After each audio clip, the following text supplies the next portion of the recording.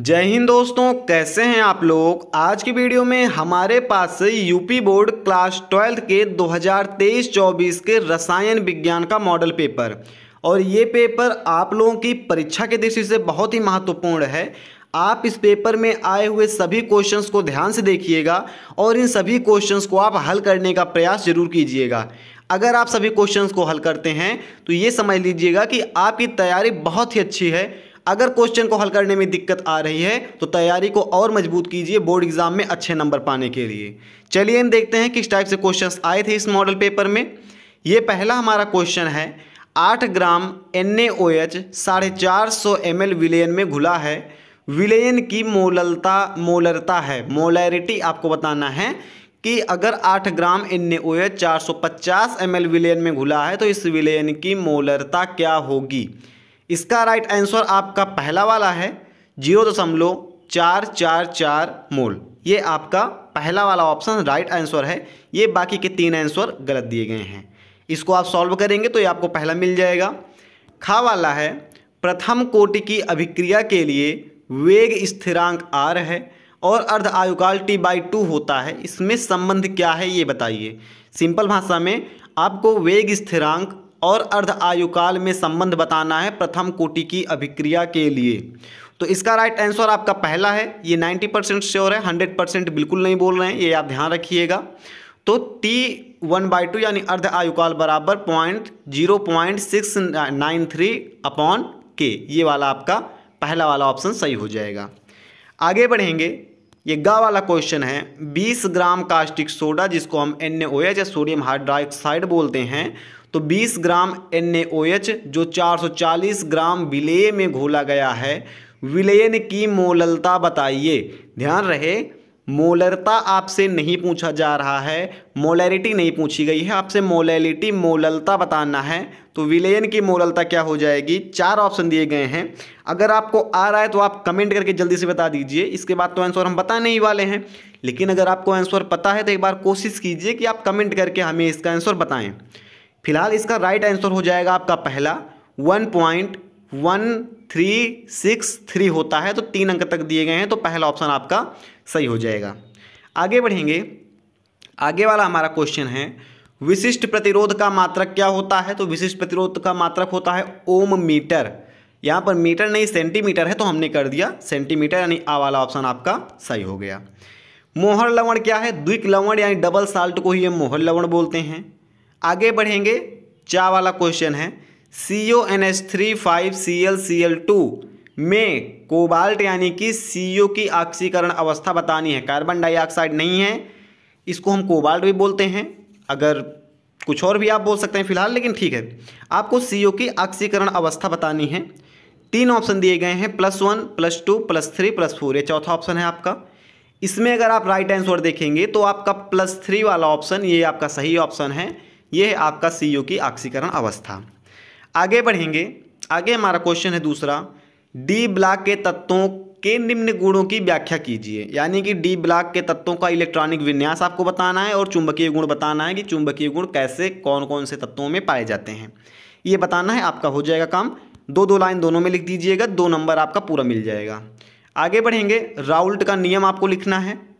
ये भी दो नंबर का क्वेश्चन है। फैराडे के वैद्युत अपघटनी संबंधी नियम। प्रथम नियम आपको लिखना है, वैद्युत अपघटनी संबंधी प्रथम नियम लिखना है। Write the Faraday's first law of electrolysis ठीक है इलेक्ट्रोलिसिस का पहला लॉ आपको लिखना है।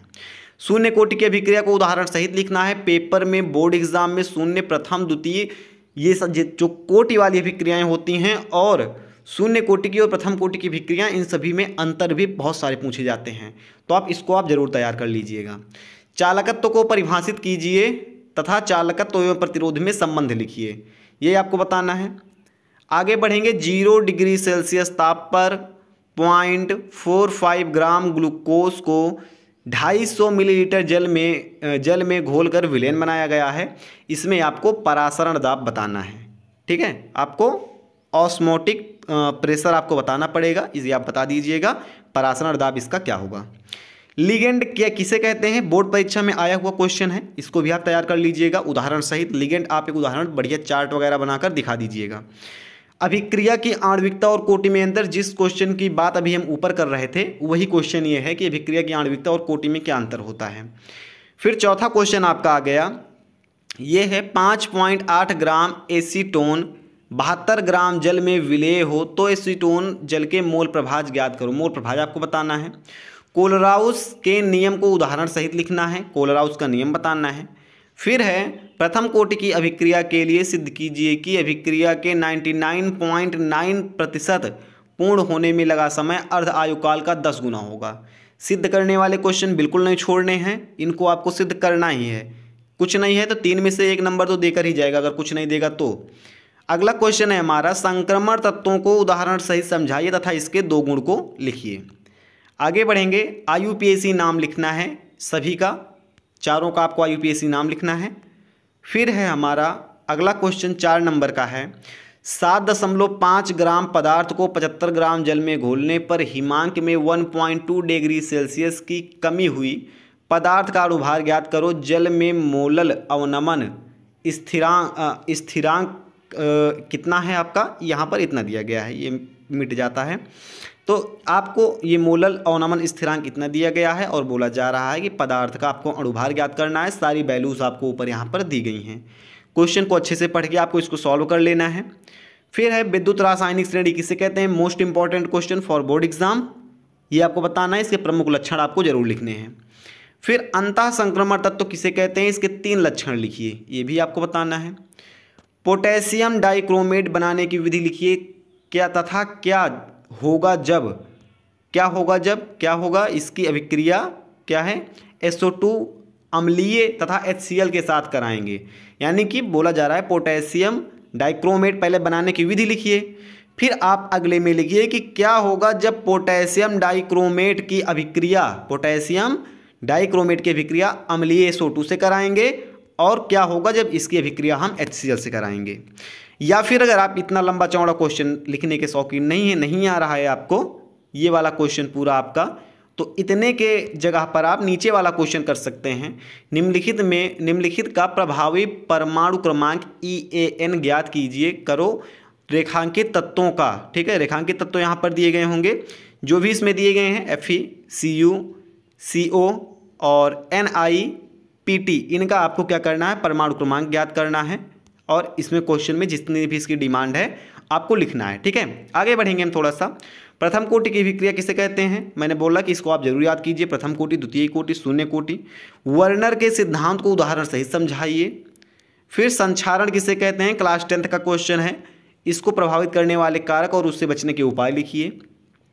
पोटेशियम पर को बनाने की विधि लिखिए तथा क्या होता है जब पोटेशियम पर मैग्नेट की विक्रिया अम्लीय माध्यम में आक्सैलिक अम्ल तथा H2O2 के साथ कराते हैं। अलग अलग क्या होता है, ये आपको लिखना पड़ेगा। खा वाले क्वेश्चन पर आएँगे। ये वाला क्वेश्चन है हमारे निम्नलिखित में केंद्रीय धातु परमाणु सेंट्रल मेटल ऑफ़ आयन जो होता है सेंट्रल मेटल आयन का समन्वय ज्ञात करो।